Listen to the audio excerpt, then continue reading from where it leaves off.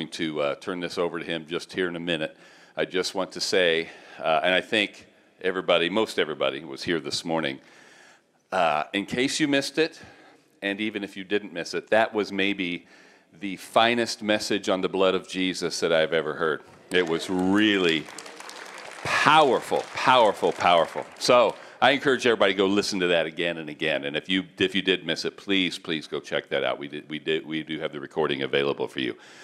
Uh, everybody knows him. The man, the legend, the Right Reverend Christopher Alam. Would you please give him a warm living word? Welcome back to this pulpit.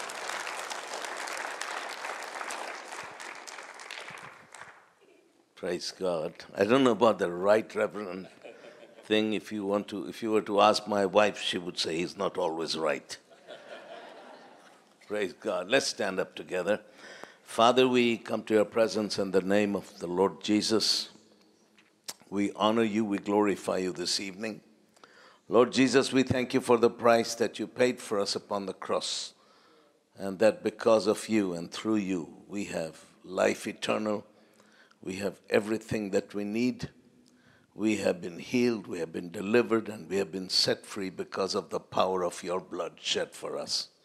And tonight I ask you, Lord, that you would reach out and you would touch us, touch our hearts, touch our minds, touch our souls, touch us at every point in our lives, Father. Be glorified in all things in the name of Jesus. Amen.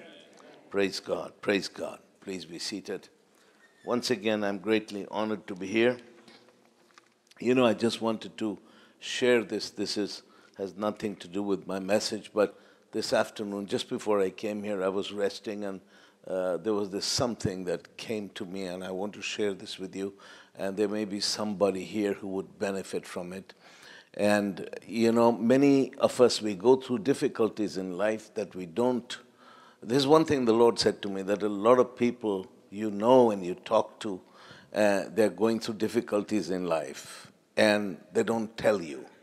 And sometimes we take people at face value, we look at them and they look okay, they look happy, but we don't know what they're actually going through.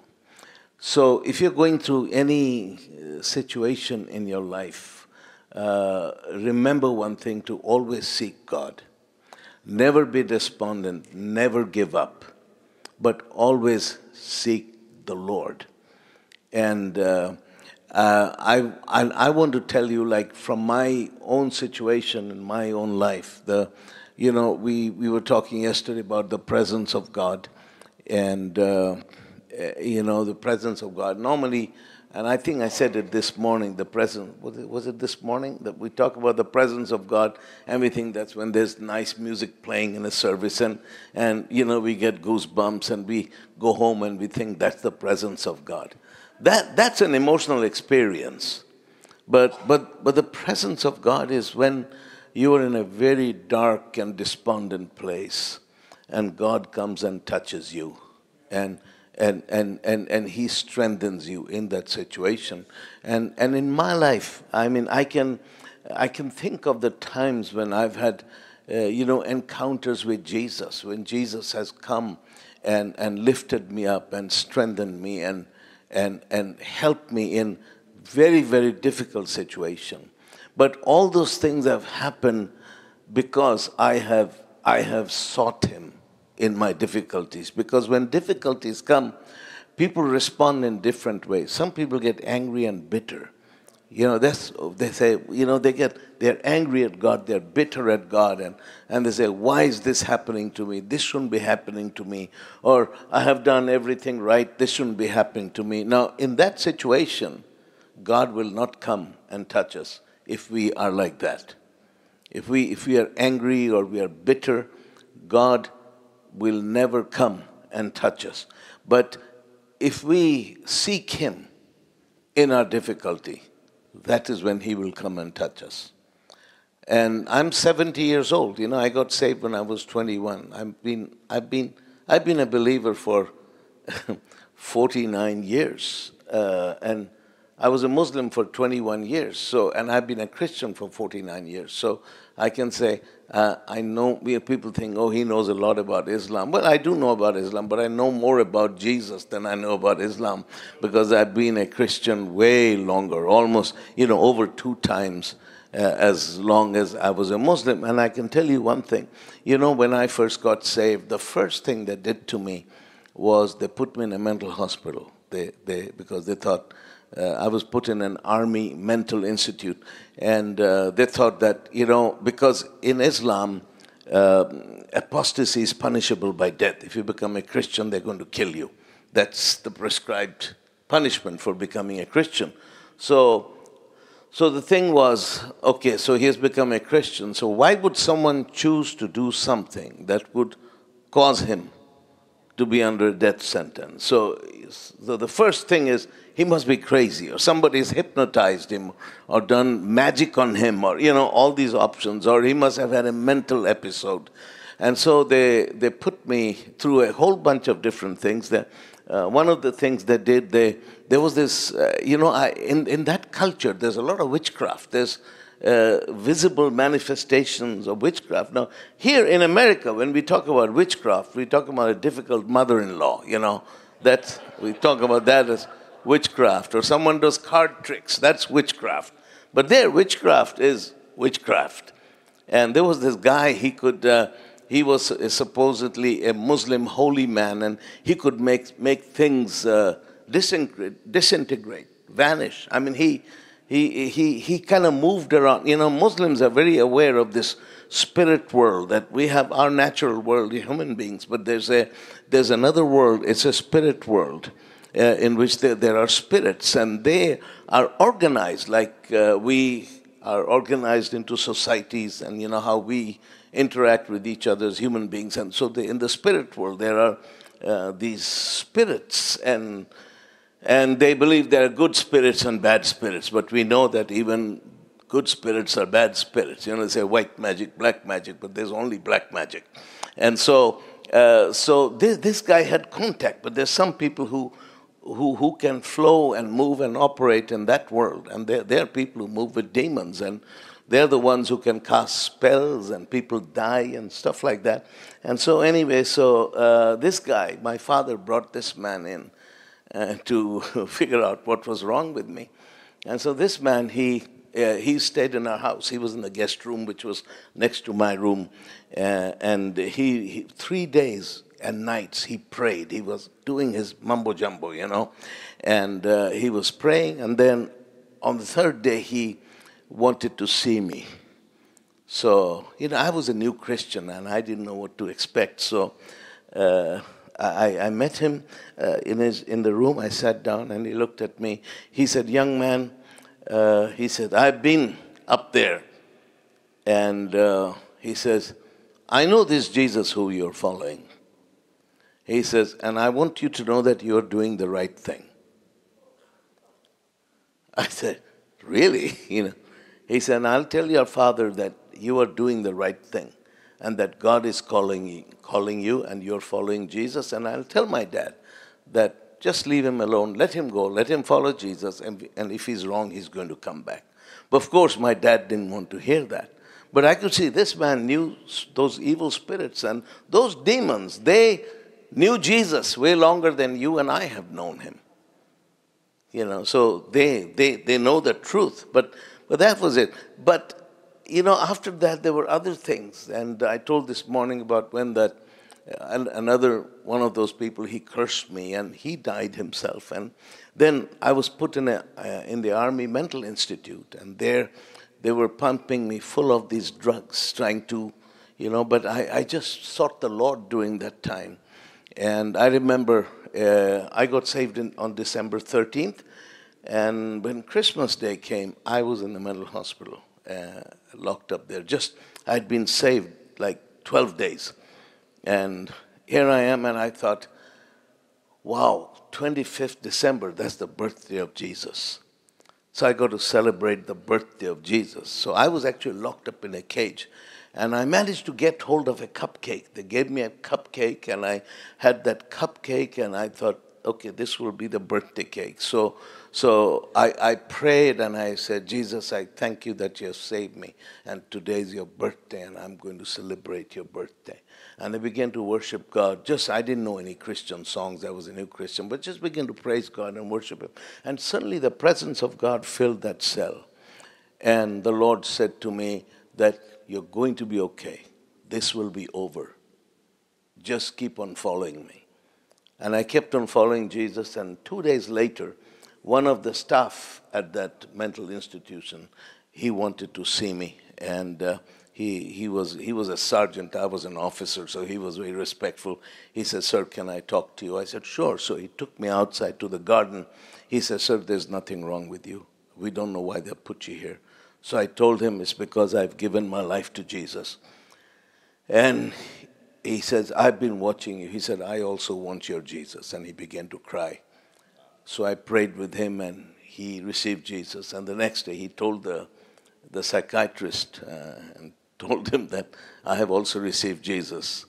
And uh, the psychiatrist, he didn't know what to do with me, so he released me from there. So, uh, you know, you see, God's presence and, and blessings, they don't follow your trouble but they follow your commitment. Do you understand what I'm saying? A lot of people go through troubles, but God doesn't follow your troubles, He follows your commitment when you when you see those things. And and through through my life, I've been through those situations again and again. Then there was another time I was teaching in a Bible college in Sweden, and I was uh, I was really seeking God really seeking God's presence, and and uh, because I, I wanted to see, I wanted God to see, uh, I wanted God to do more miracles because I had begun to travel overseas and preach the gospel. I was seeking Him, and then one day, I, I was at a seminar. We had a, a guest speaker from the United States, a lady preacher. She she's not known these days, but in the 80s, she was quite well known. So she used to come to Sweden and she was preaching. And then after the service, we went to somebody's home for some coffee and tea. And we were there and we, we, we ended up sitting on the floor in the pastor's living room. We were sitting on the floor and we were talking about the things of God. And she walked up to me and she laid hands on me. And when she laid hands on me, immediately I left my body it, it was not something I wanted or asked for, but I just left my body and I could see myself there. And I went up and I went, and then I was like flying through space. And then I saw this beautiful city, and the gates opened, and I went into heaven and I saw Jesus. And God began to deal with me. And anyway, so after I came back, I don't want to go into all the details, but there was a change in my life.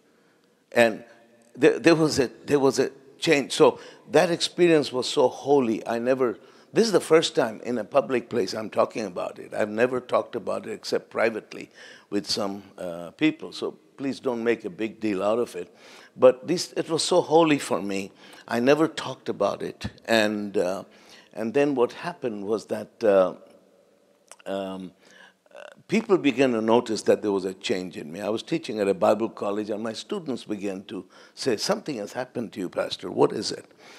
Anyway, so after that, I mean, my ministry exploded. I began to see miracles. I had my crusades got bigger and all that. But what happened was, you know, I was flying on the wings of success. I had miracles, I had huge crusades, everything went well.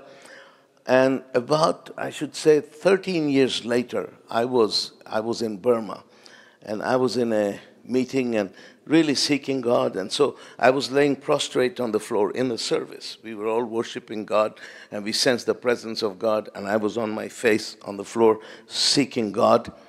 And when suddenly I saw an open vision. And when I saw, I saw an open vision, uh, it was and I, I was on the floor, I was awake, I was wide awake, but I was totally oblivious to what was around me. I saw an open vision. It was like a jigsaw puzzle.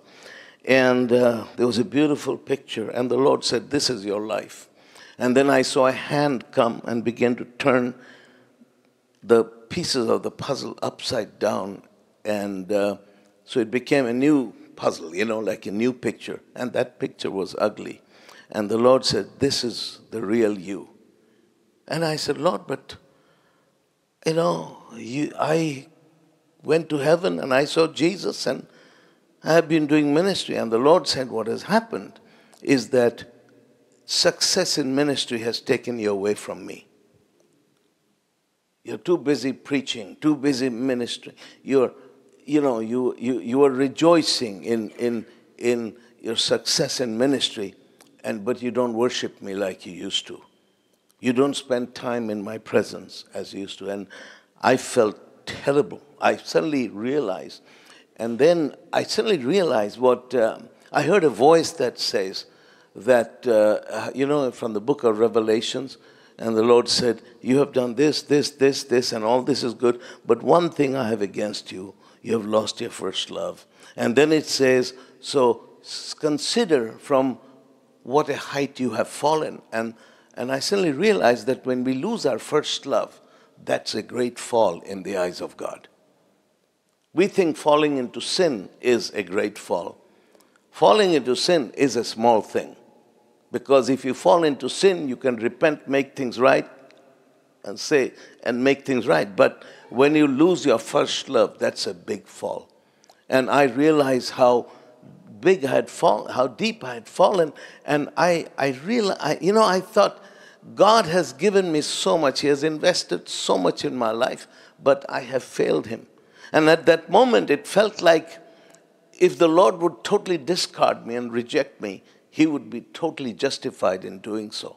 And yet, at the same time, that he would love me so much that he would even, he would even, he would even take the time to point my failure out to me.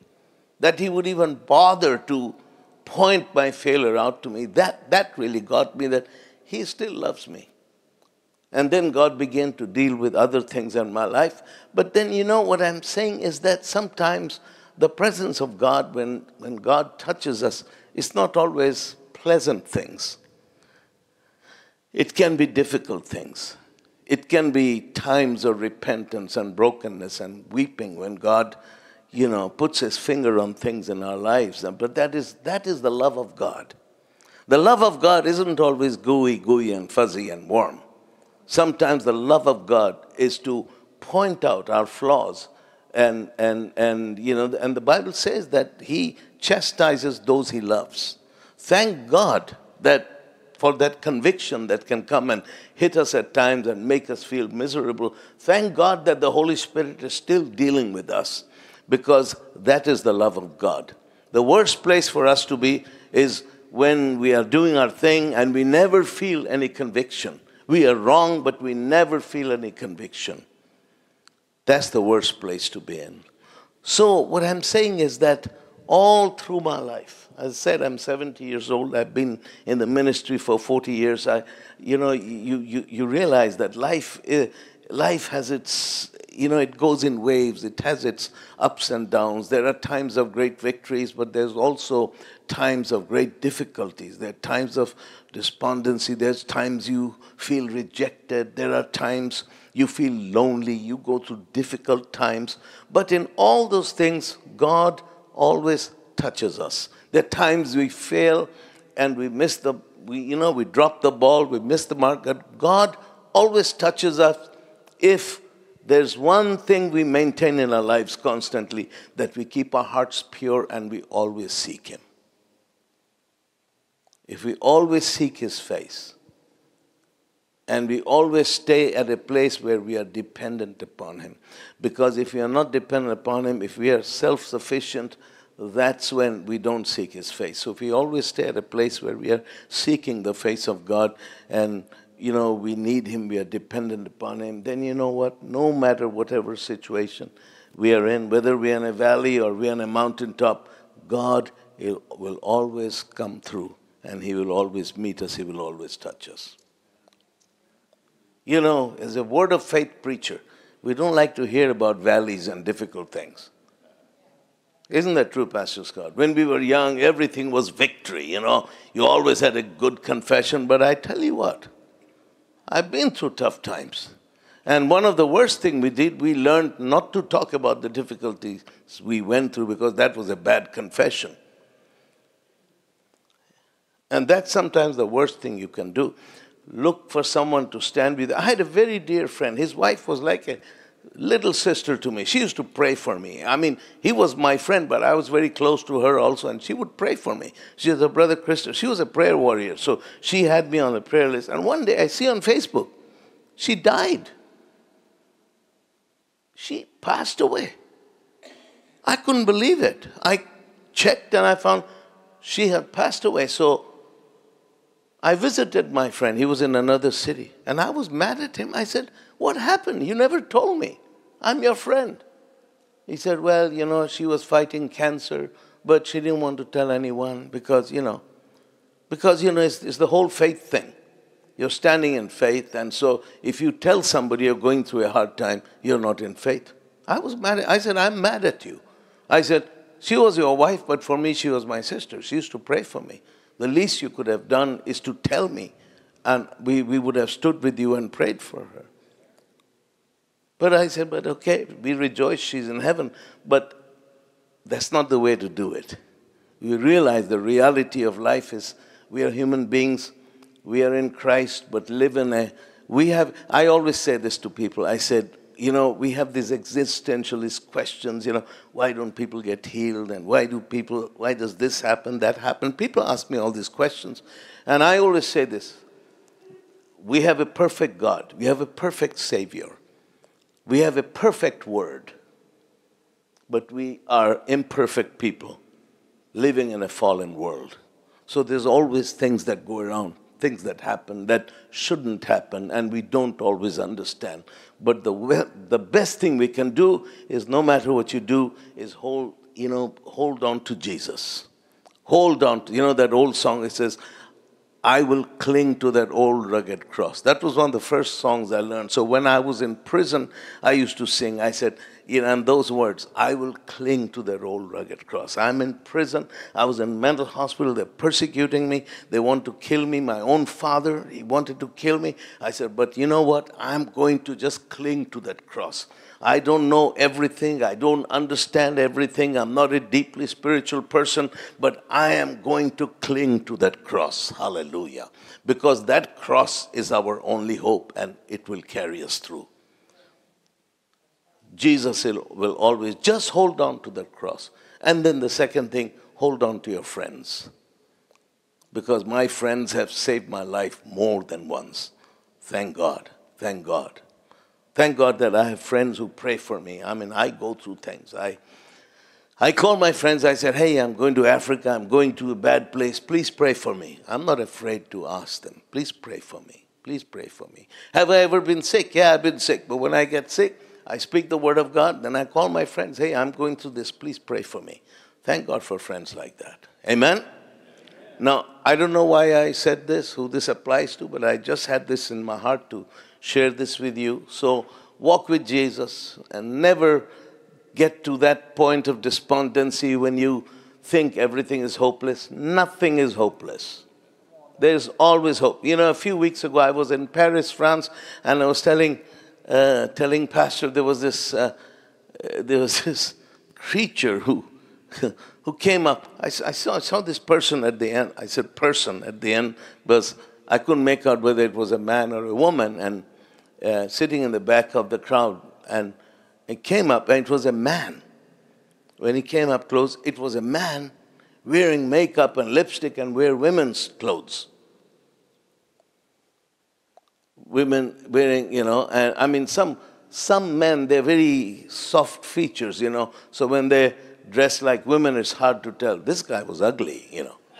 I'm sorry, but he was, you know. I mean, he. I was like, I was, dear Lord, you know. So this guy comes wearing women's clothes and makeup, and he tells me, this is what he tells me. And he says, and he was in his 40s. And he says, My father is a pastor. I come from a, my parents are godly people. But when I was 18 years old, I rejected them. I rejected their God and I became a woman and I've li- lived like a woman all these years. And I'm miserable and I'm unhappy and I want to come back to Jesus. Can you pray with me? And that's why I thought, you know what?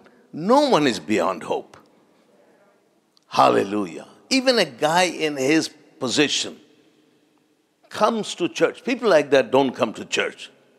But the fact that he came to church and then he came up because somewhere in the darkness he reached out and took a hold of Jesus. Never let go. Amen. And never let go of your kids. You know, kids, your kids, you know, never let go. Never let go of your kids, never let go of Jesus. There is always hope. Hallelujah. I believe that because God is faithful. But He can move only when we decide never to let go of Him. If we, if we, if we throw everything to the winds and we get mad, you know, that, that's when we can't really expect anything. But if you hold on to Him, hallelujah. Praise God. Amen. Praise God. Well, I just wanted to share this. This was, you know, this was not my message, as I said, but I took, oh my goodness, I've spoken for 30 minutes already. But you don't mind sticking around for some time, do you? Are you okay? Now, I want to show you some pictures. Some, can I show those pictures? Some, uh, these are our recent crusades in Africa. You know, we are always doing crusades in Africa. These are the recent ones. And let's see some of them. This is Next slide. This is in, uh, in Tanzania. In Tanzania, the, we normally do our crusades in the evening, but Tanzania has a law that you have to finish everything by 6 o'clock. So uh, they don't allow night meetings. So this was um, in Tanzania. And the next picture. Uh, this was in Zambia, in Chawama. This was, you know, uh, Zambia, I mean, it was amazing. We went to this place and they were shut down because of COVID, and the whole country was shut down. And this was the first thing that they allowed, open air crusade that they allowed after the pandemic was over. So, and uh, the next picture is uh, this is also in Zambia, another place in Zambia. And the next one uh, this was also in another place in Zambia. We did many crusades in Zambia and Mozambique. No, I'm sorry. This was in Mozambique. This was in a town which was right in the center of the country. And but nobody had preached there for, I mean, forever because they had a guerrilla insurgency going on for like, I think, 48 years or something the government had been fighting the guerrillas, and this was the headquarters of the guerrillas. So there was, there was, you know, nobody had ever preached there. So we went there. And then what happened, we found out that the deputy governor of this region, he was Pentecostal and the government had sent him there. So they had a ceasefire with the guerrilla. So the government began to establish control over the area. So he went there. He was strong Pentecostal. The first thing he did, he saw how corrupt the government officials were. He fired everybody. And he he hired only Pentecostal. He said, unless you're born again speaking in tongues, you can't get a job here. So all the police, everybody. And so all the corruption was gone. No bribery, no corruption. Everybody, the cops, everybody was Pentecostal. And he told me, he said, Pastor, this week that you are here holding the crusade, the government, uh, sorry, the guerrillas are laying down their arms, and have, we have finally we have peace in the country. So we were there, and this place, if you go to Google Earth, you see it's just a collection of huts, and it was very hard to go there. There was a road there. There is a road, and the and the potholes were like swimming pools. You couldn't believe it. Our 18 wheeler truck would kind of disappear into the pothole, then would come out the other side. And it, it was horrible. So that's where, now for me to get there, I had to get, and there was no airport there. We had to land on a grassy field uh, on this one of those safari aircraft, on this little airplane. So I flew in on that little airplane. But before the plane landed, when they saw the plane coming, a guy went out on a motorbike and chased away all the antelopes and monkeys and baboons from the field so that the plane could land. It, it was interesting, you know. But, but God moved, and we had a wonderful crusade. Thousands of people saved, and there were people, people walked from 20, 30 miles away they came walking to hear the gospel and there were people who had churches. You know they had churches out in the bush small churches and many of the pastors didn't have bibles. So i said to them i said is there anything you can do for me? Uh, anything i can do for you guys? And they said we need bibles for the pastors. So i said how many pastors are there? There's, in the entire region i think there were about 200 pastors 260 pastors so I said, okay, I'll get you Bibles. So uh, we found out the cost of Bibles. It was like $10 each. It was $2,600, um, which, was, which isn't really much, you know, from our money. So I called a pastor friend of mine, and he had he used to say, "You need anything, call me." I said, "Hey, I need I need money for Bibles for these pastors." So he cut out a check and sent me, and so we now give Bibles to uh, you know put them in their hands. So this was fantastic, and we'll be going back to that area. The entire region, now that the guerrillas are gone, we can preach the gospel there. So anyway, the next picture is uh, this was also in Zambia in a place called Linda in Zambia, and the next one. Uh, this is another, this is called Chipata compound, uh, and the next one this was again in, in Zambia. Now, these are all our latest crusades. And the next one is this was again in Mozambique, out in the bush. And the next one is now this is these are uh, this is the graduation of our church planting school in Africa. In the morning, I showed you our church planting school in Asia. The one in Africa, we graduated 53 church planters. And the next one uh, this was a woman who she was carried like she was like a vegetable. And they carried her, and she was unable to walk or to see or to speak. Jesus healed her totally. Now, this was, this was in a town which was the uh, headquarters of witchcraft in Zambia. And so when I came there, they told me about this powerful witch doctor. He had killed a lot of people by putting a witchcraft spell on them, and they died. And the police knew what this man was doing, but how can you prove, uh, you know, murder by witchcraft? And so pastors were scared of this guy.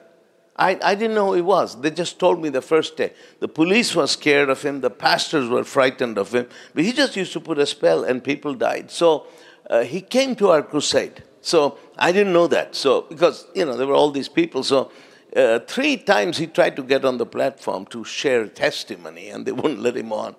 So the fourth time he managed to get up, and I didn't, still didn't know who he was, and he said something in their language. So everybody laughed. He got a laugh out of people. And then as he was leaving, I didn't know he was, I turned to him. I said, It's a dangerous thing to mock the Spirit of God. I still had no idea who he was. He went home, and as soon as he reached home, he dropped dead. I tell you, the fear of God hit that town. And people began to come and get saved.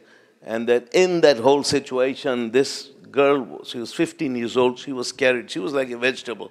She couldn't walk, couldn't see, couldn't speak, and God healed her completely. She was up, walking, running, completely delivered. And the next one is this woman was paralyzed. She's now walking and running. And the next one is uh, this woman was completely blind. So I asked her to touch my nose if she could see my face. So she was that's what this picture was. And the next one is uh, this was the local traditional chief. And in Africa, it's the local tradition chiefs, they are the ones who have the power and the influence. So he, um, he, was, he couldn't walk and he was deaf in one ear. He got healed. And the next one is this. Now, this is, this is very funny testimony. This guy, he was in a motor accident in the morning and it was a bad, I don't know what happened, but the, the whole, like his ear and this whole part of his face were torn off. I mean, his, you know, it, it just came off. and he was bleeding. And you could see, if you look at his shirt on the left side, is covered with dried blood. So they rushed him to the ER, and the doctor took one look at him and took that ear and that part, put it back, and put a bandage over him, and said to his friends, Take him to the crusade and get him prayed for. And so they brought him that evening, and God healed him. Uh, his, his whole thing fused back, and he says, everything is back. I have, I can feel everything, and I have my hearing. I'm perfectly okay. I wish I could shake the doctor's hand. It's good for doctors like that, you know. So doctor just said, go to the crusade. You, you're going to be okay. So then the next, I think this is the last picture. Anyway, praise God, praise God. Now I want to share with you. Uh, I'll share with you something very brief from the Word of God. Let's go to Romans chapter 1. Romans chapter 1.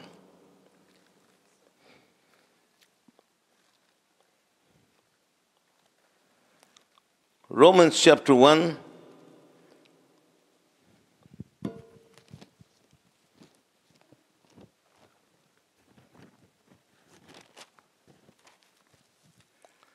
Romans chapter 1. And here's the words of the Apostle Paul. In verse 14 it says, I'm a debtor both to the Greeks and to the Gentiles, both to the wise and the unwise. That is why I'm ready to preach the gospel also to you who are in Rome. So Paul begins to say, I'm a person who is in debt.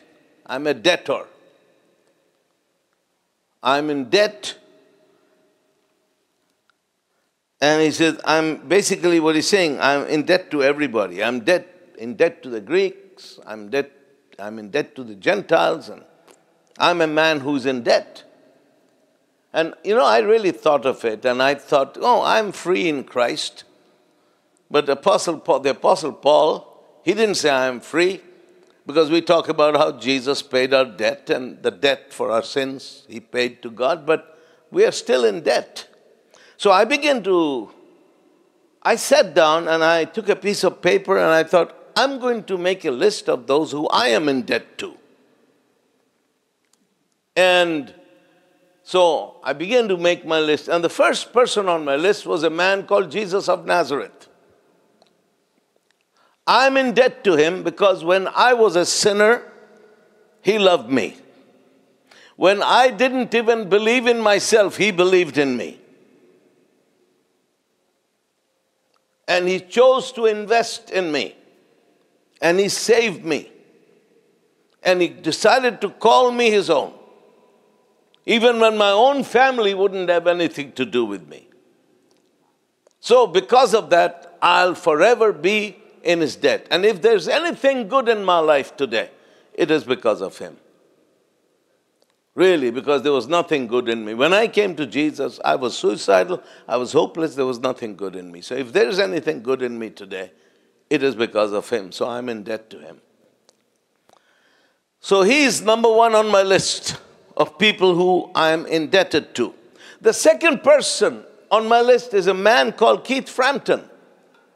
And let me tell you who Keith Frampton was. Keith Frampton was the, uh, the son of Mr. and Mrs. KP and Pauline Frampton, who in the 60s and the 70s were the wealthiest Christians in Great Britain.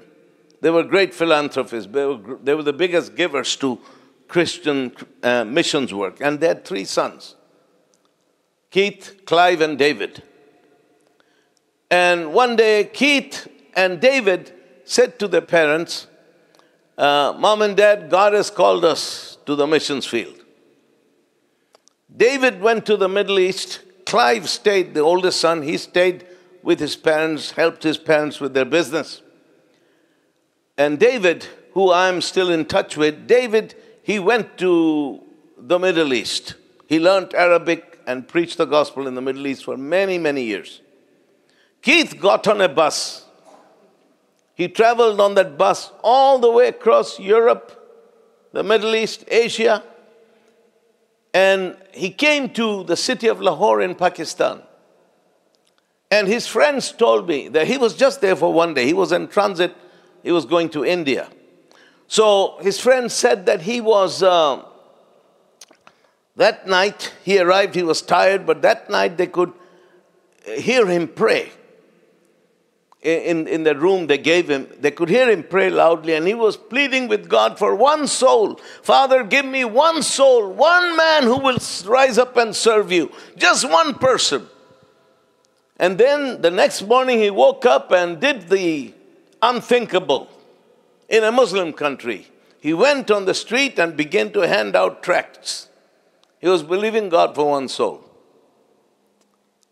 And I came walking down the road, on the other side of the road, and I remember looking at this tall Englishman. He was about six foot six. He was a very tall, skinny guy. And I remember, remember looking at his face and thinking that this guy has a peace and a joy that I have never known. And I thought, you know, the 70s, everyone was using drugs. I thought, I got to find out what he has been smoking. and I went and began to ask him who he was, and Keith began to tell me about Jesus, and that was the day I got saved. So I'm here because Keith Frampton shared the gospel with me. He died of COVID, unfortunately. I think two years ago, his brother told me. But I will always be in his debt. Then the third person on my list would be Pastor Jim Turner, and last time I was here, I told you about him. He was the one who baptized me, and the Muslims killed him because he baptized me. Pastor Jim Turner. Then there have been other people who have invested in my life who I'm in debt to. One man was Kenneth E. Hagin. His teachings completely changed my life. So I first heard of him 44 years ago. But 44 years later, today, my family and I, the way we live our lives, how we believe God, my ministry, how I live, how I preach, everything has been based on what I learned from that man. So I, I owe him a debt. And there have been other people also like him there have been men of God who have been father figures in my life. My pastor, Pastor Sam Smucker, back home in Lancaster, Pennsylvania, he invested in my life. He brought us to the United States. The worship center, of my home church, sponsored us, so we moved to the U.S. All that. Then there have been people, people like uh, you have never heard of. A lady called Dottie Sheeler. She went home to be with the Lord three, four years ago.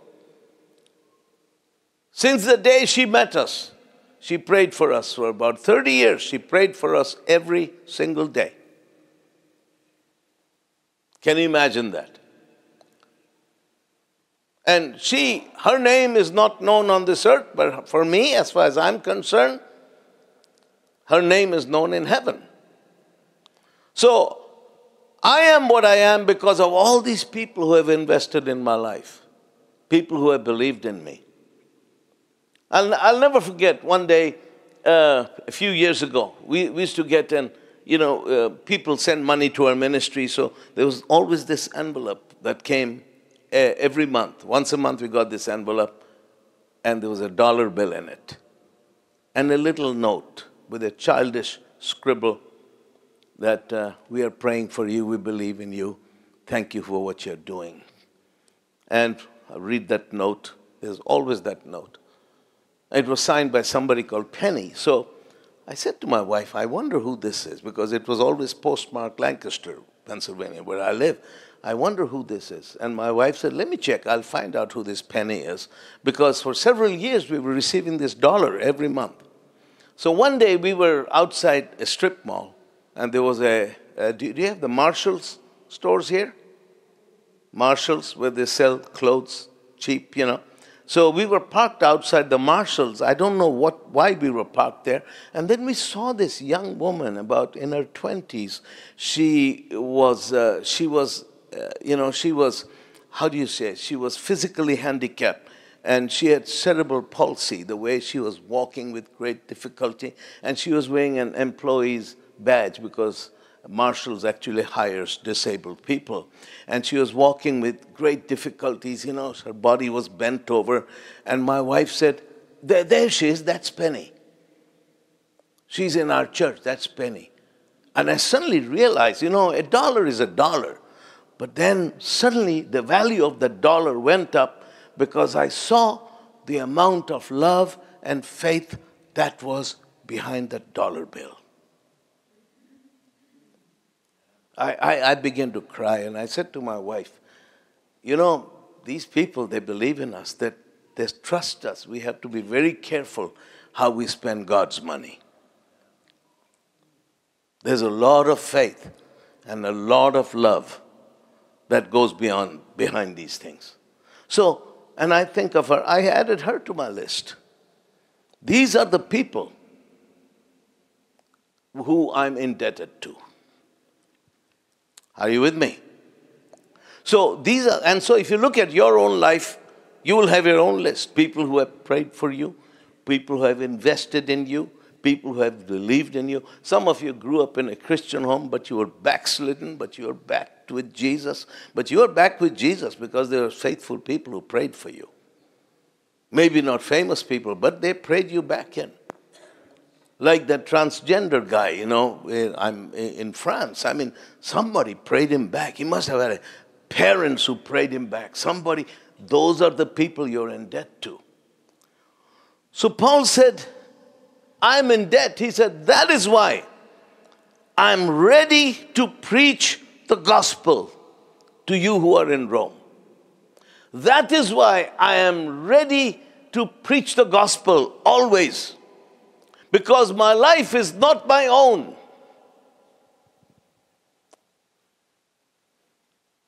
I'm bound to a lot of other people who are who have invested in my life who are banking on me who are eh, you know they've invested on me but they're depending on me and they're believing god they believe in the calling on the anointing that is on my life and they're praying for me because they know that God has called me to go to places where they would want to go to, but they are not called to go, to go, but they are sending me. So, you know, you are part of a chain of something far bigger than you can envision. Sometimes you can feel lonely, you can feel, you know, here's my life. But listen, you are tied to a lot of other people. You're part of a chain that is bigger than you. And so I realized that. And that's why I, I, am always ready to preach the gospel. Hallelujah. No matter where I go, no matter where I am, I'm ready because I want to serve Jesus. Amen.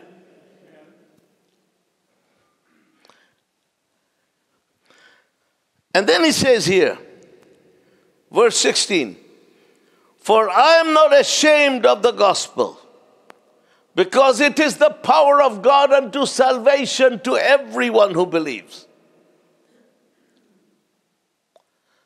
I am not ashamed of the gospel. You know, many people today are ashamed of the gospel. And the reason they're ashamed of the gospel is that they have a gospel that does nothing for anybody. But we are not ashamed because we know what the gospel is and how powerful the gospel is. The gospel is powerful. When we preach the gospel, stuff happens. I'll never forget, uh, I, you know, 19, uh, I don't know, I think about 20 years ago, 19 years ago, there was a big earthquake in, in Pakistan, and about, I think, 350,000 people were killed or something like that. It was very bad. So the Lord told me to collect money to send them. So I collected money and the Lord told me to send it through the Retired Officers Alumni Association. So now, this is very interesting because, you know, I was one of those uh, officers, you know, we were all part of this military college. Some went to the Air Force, some went to the Army. I went into the Army. And then, you know, when the internet first came and there were internet forums and all that before Facebook and all that. So one of my old military buddies, he found me. He lives in Tulsa. He found me and he Eh, because somebody, some converted Muslim was witnessing to him and mentioned my name, and he said, Oh, I know him. He was my classmate. So, anyway, he contacted me and he told me about, he said, You know, all our old friends are in this, this uh, retired, uh, you know, this officers' alumni forum. So I joined in. So I joined in there, and then uh, anyway. So what happened that, I, and I was you know participating in that. But what I didn't know was that some of them were not very happy because they said this guy is a traitor, and you know he left Islam, became a Christian, became an infidel, and why is he with us? So one of these guys who was my best friend was always defending me. He called me, he said, You know, some of these guys are talking ugly about you. But I've been telling them, I said that he has not done anything wrong. Okay, he became a Christian, but that's his personal matter. He served together with us. He went to war alongside us. He's one of us, and he has every right to be with us. So when they would meet, you know, some people were really critical of me. So I didn't know this. I found this out later on. But what happened, the Lord told me that because they, they made an appeal for a fund to, uh, you know, to help these earthquake victims, and the Lord sent, told me, give the money to them. So I sent them a check, and so when the list of, they published a list of donors, and my name was on top of the list. I was the biggest donor.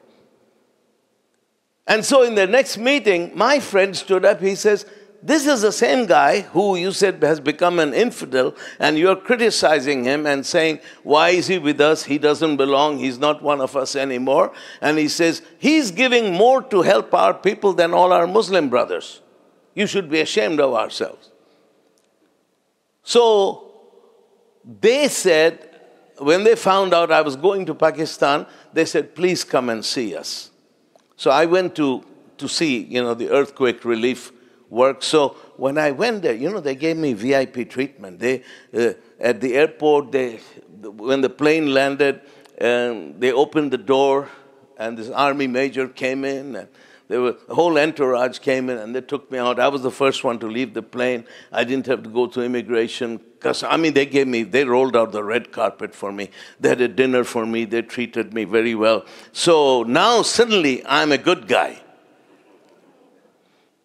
And so one day I'm sitting there in my hotel room with this guy. He, he's a retired colonel from the Air Force. And he said, he said, buddy, tell me, what is it that you actually do? I said, let me show you. So I pulled out a little DVD I have with, you know, presentation on the ministry, and I was showing that. Then he said, stop, stop, stop. Then he said, this little boy, you said he was born lame, and he got up and began to walk because God healed him. I said, That's correct. He says, But God healed him because you prayed for him?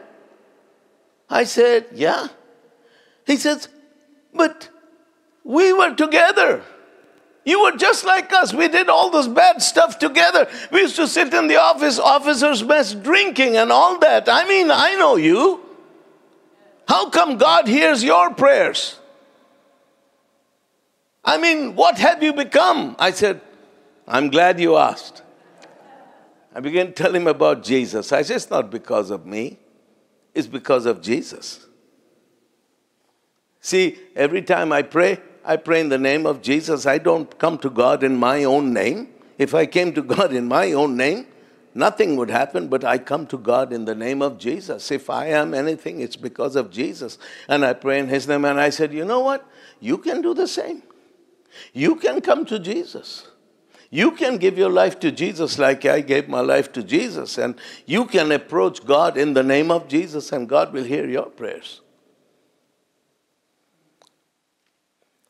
That is why I'm ready to preach the gospel because I'm not ashamed of the gospel because we have a gospel that actually does something. Hallelujah we have a message that actually affects people's lives.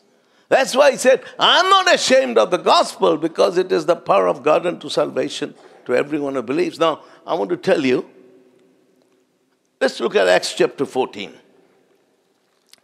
In Acts chapter f-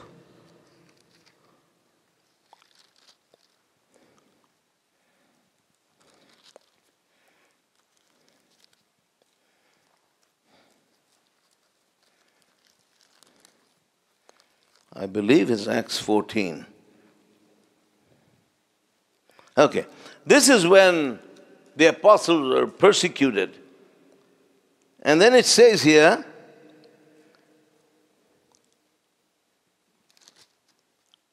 okay. So they came to a city called Lystra. Okay? As they were escaping from the Jews who were persecuting them. It says in verse number 8, in Lystra there sat a man, there sat a man crippled in his feet who was lame from birth and he had never walked. He said he listened to Paul as he was speaking. Okay? Now, verse 7 it says that they came to Lystra and there they preached the gospel.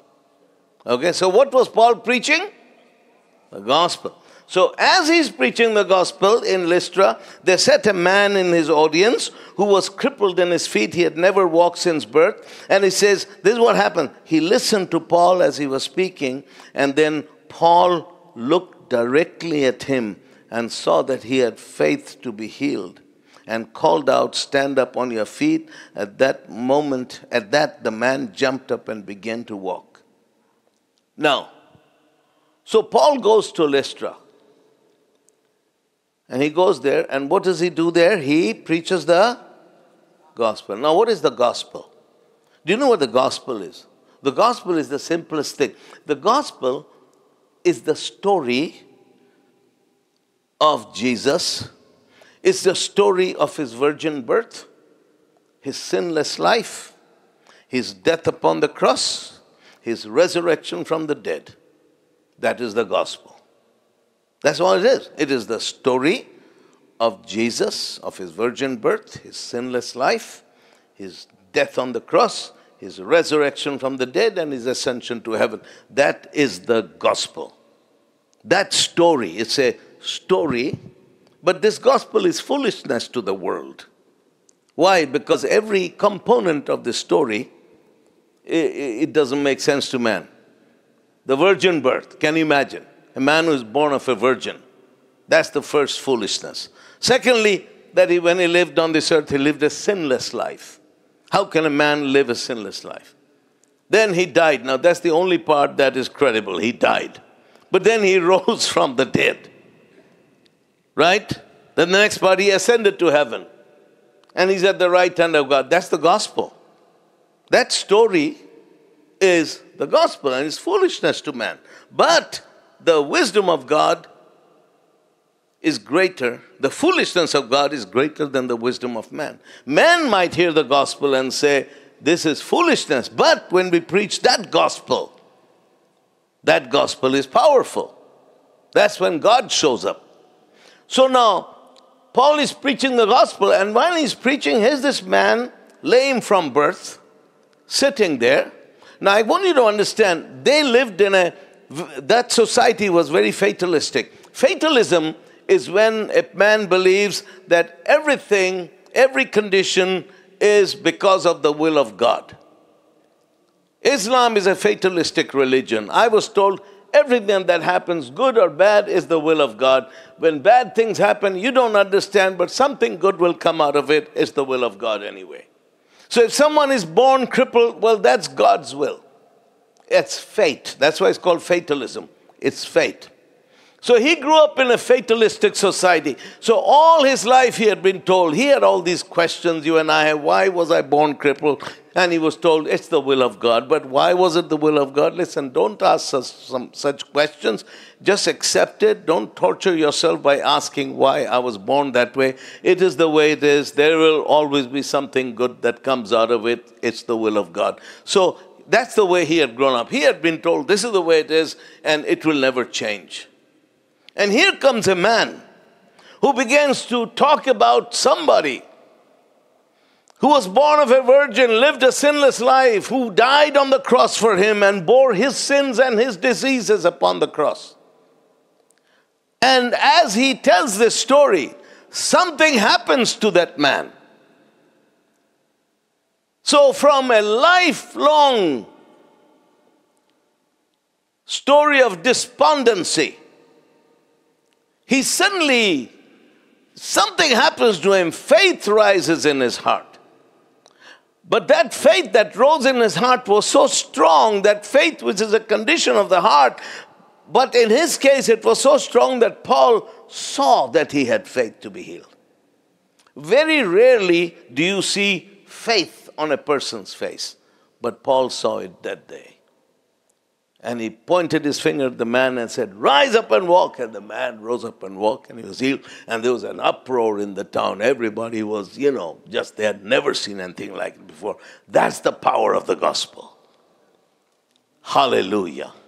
So I remember when I read this story, I used to say, I really, this is true. I said, Lord, I wonder what Paul preached. I wish, I, I wish they had, you know, um, cassette tape players those days that, you know, we, we could know. I said, if I knew what Paul preached, man, that's the only message I would preach because everywhere I would go and preach, people who are hopeless would have hope and they would, the lame would rise up and walk. And the Lord says, but it's right there. I saw, where is it? And then I saw verse 7, and there they preached the gospel.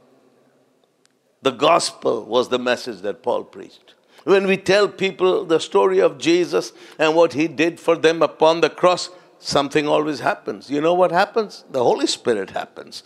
Because the Holy Spirit comes in when we preach the gospel. And so, he rose up and walked. So that is the power of the gospel. That's why Paul said, You know, I'm not ashamed of the gospel because it is the power of God unto salvation for everyone who believes. Now, if you go to Corinthians, Paul writes to the Corinthians. Remember when he says, When I came to you, I would not that you wouldn't know anything, anybody else except Jesus, Christ and Him as crucified. He said, I didn't come to you declaring man's wisdom. You, you know why he wrote that? Paul, when he first came to the European continent, he preached the gospel in Athens, Greece. Athens was the center of philosophy and Marcel, if you've been to Athens, Greece, you got the Parthenon up on the, on the hill, and down from the Parthenon, you got this place called Mars Hill. And nobody knows it is there because but because there's a bronze plaque that has never been polished, never been cleaned, you know, in today's secular society, no one, everyone sees the Parthenon, nobody's interested in place in the place where Paul preached. So I looked for it. I asked the tourist guide, they didn't know what it was. And I looked, looked, looked, and then I suddenly saw this plaque. This is Mars Hill, where Paul first preached the gospel. So when he came to Mars Hill, and there, from when you stand on Mars Hill, it's actually not a hill, it's a big rock. You stand on that rock and you look and you see the place where uh, they told me that's the place where Paul sat and he debated with the philosophers. And he, you know, that, that's the place where all the philosophers used to sit. Now, Paul was not a dummy, Paul was smart. He was theologically well schooled, but he was also very smart. He was very educated in philosophy, he could match wits with the best of them. So when he came to Athens, he decided to present the gospel to them in the context of philosophy because that's what they understood. You know, they were philosophers, they were big into philosophy, they respected philosophy. So he came with the philosophy of Christ. He came and he had no success in Athens. That's why Athens, although it was the biggest city, there is no letter in the New Testament to the church in Athens because Paul totally failed to do anything there. That's why there was no letter to the church in Athens because there was no church in Athens. Although Athens was the biggest city in the region, that was the whole center, that was the capital city. From there, he went to Corinth. And when he came to Corinth, he said to himself, I'm not going to do, repeat the same mistake that I did in Corinth. I'm not going to engage them in Greek philosophy, but I'm going to preach Christ crucified. So he came to Athens, he preached Christ crucified. And that's why there was a big church in Athens, so that the two of the biggest letters in the New Testament he wrote to the church in Athens. Uh, Corinth, I'm sorry, to the, I'm sorry, you're right, to the church in Corinth. And that's where, that's why he wrote to them. He reminded them, he said, Remember, brothers, when I came to you, I didn't come to you with enticing words of man's wisdom, but in demonstration of the Spirit and of power. I preach Christ crucified. All if you read the first and the second chapter, you'll see he talked about preaching Christ crucified. And that is the gospel. And that is what everybody can share.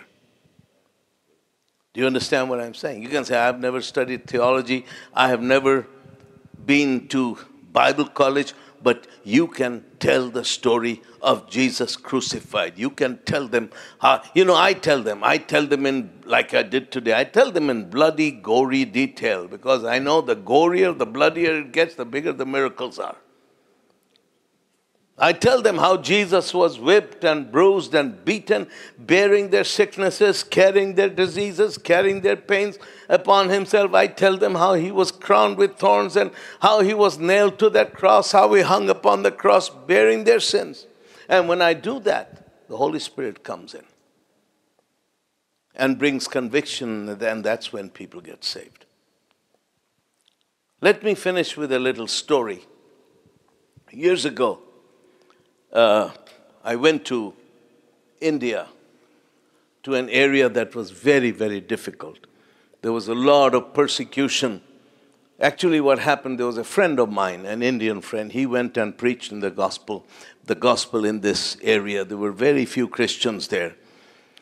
And uh, the Hindu fundamentalists turned against him and uh, they went on a rampage and they burnt, I think they burnt about 20, Christ, uh, 20 churches, small churches, but they burnt about 20 churches and they killed some Christians, some pastors. It was very bad. So the government had, had uh, forbidden all gospel uh, or any kind of religious gathering in that place. So I read, you know, it was so bad, I read about it in the International Herald Tribune newspaper in Sweden.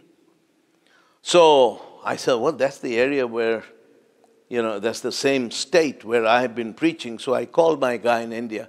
I said, I'm coming. I want to do a crusade there. He said, we can't do a crusade there because we had never been there. That was quite far away, but it was in the same state. I said, let's go and do a crusade. Anyway, cut a long story short, I went with my team and we set up a crusade in this place. And the first night, second night, the third night. So, what had happened, I, I really fasted and prayed and prepared. So, I was fasting and praying. And the third day, I had a red hot message ready to preach. And I got up and I began to preach. And there were thousands of people that were gathered. And while I was preaching, uh, about 20 minutes into the message, the Lord said to me, Stop preaching and start praying for the sick. I said, Lord, I got to preach. Uh, I've got pre- prepared a message. And the Lord said, No, you begin to pray. So I began to pray, and uh, I, I, prayed for. I always pray for the deaf first. And suddenly, deaf people began to hear, and then I prayed for the blind, and there were blind people received. So I just prayed over the crowd. Then I said, I'm going to pray for the paralyzed, and suddenly there were shouts in the back, and people were shouting. There was a lot of commotion in the back, and soon I saw there was a man walking through the crowd, walking to the front. He had his hands up in the air and he was shouting in their language. He was saying, Jesus is alive! Jesus is alive! Jesus is alive! So I was saying, What happened? What's happening? But you know, they were all shouting and they couldn't hear me. So, anyway, so this man was coming through the crowd and the crowd was letting him through. As he came to the front, closer to the front, my interpreter saw him and got frightened. And this guy jumped on the platform, grabbed the microphone from the interpreter, and he shouted, Jesus is alive! The moment he said that, the place came unglued. There were people who had been sitting up on trees, you know, to hear because the field was full. They began to jump down from the trees. Other people were climbing up on the trees so they could get a better view. I mean, it was chaotic. And then this guy, he jumps off the platform and he kind of begins to walk in this direction. He had come from this direction and he had his hands in the air. He was just shouting one thing Jesus is alive, Jesus is alive. And thousands of people began to follow him. And the whole crowd followed him. And there were trees outside the field. They followed him through the trees. And in 10 minutes, the field was empty. Everyone had followed this man. And I had a team from Sweden. They were with me and the pastors, and I didn't know what had happened. Why had everybody left with this man? I couldn't even do my altar call. So then the main pastor, he came and he was white as a sheet. I said, Who was this man? And they told me that he, this man was born paralyzed. He, he couldn't stand without crutches. You know the big crutches they have under the armpits. He said all his life he could, he could only stand with those crutches. And he was the leader of the Hindu extremists who were killing Christians and burning churches. So he says, when he heard that there was a crusade coming, he came with two truckloads of his people. He says, I knew him, everybody here knows him, and I saw him. He was in the back while you were preaching. He came. So I went to the back, and some of his people were standing there with hand grenades in their hands. They would throw into the crowd. That's what they do. And they were standing there with grenades. So I went there to watch him. And I said, Then you begin to pray. You stop the meeting and you begin to pray. And when you were praying for the crippled, suddenly his crutches flew out flew away from under his arms, and he was standing on his legs for the first time in his life. Then he, everyone was shocked. He took one step, he took two steps, he began to walk, and after a few steps, his hands went up into the air, and he began to shout, Jesus is alive. And he said he came to the front, and then he said when he got on the platform, that's when the whole crowd saw who he was. And that's why everybody kind of followed him. You know what? Revival broke loose from there revival exploded, and churches immediately in the aftermath, just in a couple of months, over 70 churches were planted. And revival came to that place, and amazing things began to happen. So, what happened now, I never went back again. I felt like God's grace had lifted from me for that area, and I pulled away. 12 years later, I was in South India I have a friend who, was at, who had a church planting Bible school. He had 700 students. I was teaching there. And at that time, there was persecution in India. So I told them, I, told, I was telling the students, don't be afraid if the devil is bigger than your God, you are in trouble. But if your God is bigger than the devil, you're going to win. Then I told them this story of this man. And when I finished the story, the bell rang, the class was over. I stand outside, I stood outside to get some fresh air, and I saw this young man coming towards me, and he was crying. And he jumped on me, threw himself around my neck, and he just cried on my shoulder. I said, Young man, can I do anything to help you? What is it? He said, Pastor, I didn't recognize you, but when you told this story, I recognized you. I was a 10 year old boy sitting on the ground with my mother in the first row. I remember that day. I remember when that man came walking and he was shouting, Jesus is alive. At that moment, he said, I gave my life to Jesus and God called me to the ministry. He says, Not only me, but there were, we were 10 of us that I know of. We were all little kids between the ages of 8 and 12. And he says, Today we are all in this Bible school, all 10 of us, six guys and four girls, and we, are, we answered the call of God. And they were all in the classroom, but none of us recognized you. But I did the moment you began to tell this story. He said, I'm now, I'm here to study to be a church planters. All 10 of us are here. Anyway, so I that at that time I thought, you know, we preach the gospel and we missionaries, and sometimes it's lonely, and you wonder, do people know what we are doing? Do people appreciate what we are doing? And that at that time I was encouraged. Anyway, ten more years passed, and I'm preaching Mark Brazee's conference in Tulsa, and there. Uh, uh, no, no. Then a few years later, I got I got an email from India, uh, from this leading pastor in that, uh, in, in, in who had organized this crusade, he said to me, Brother, I thought you were dead. You know, Indians will tell you on your face what they think. I thought you were dead, but I'm glad to hear you're alive. He says, yeah, I heard you're living in America. I want you to know. He said, What you did that time, all those years ago, he says, that move of God has still continued for these past 22 or 25 years. The move of God continues. He says, When you came, the percentage of Christians in that region was less than, was about, sorry, it was about one point, little over 1%. He says now that area is more than 18% born again, spirit filled Christians. He says the move of God continues. People who are saved in those meetings, young people, they're pastors now and they're preaching the gospel praying for the sick. And then, so I was so encouraged. A couple of years later, I was preaching in Mark Brazee's conference and and uh, I told this story. After service, this young man comes to me, young uh, Indian guy. He says, "Pastor, I know, I know this. This is this happened before I was born, but my father was the main pastor there, and I was born after you were there, and I've always heard of you, and I want you to know that everything you said was true. God is continuing to move in Phulbani district in India. That is the power of the gospel. That is the power of that simple story. You can talk about church growth conferences and um, we are going to do this and we are going to do that and you know uh, how we are going to sit down and uh, how do you say brain uh, brainstorming. We are going to brainstorming how we can grow our church and how we can get more people to come to church. But let me tell you, it's the simple gospel of Jesus that changes people's lives.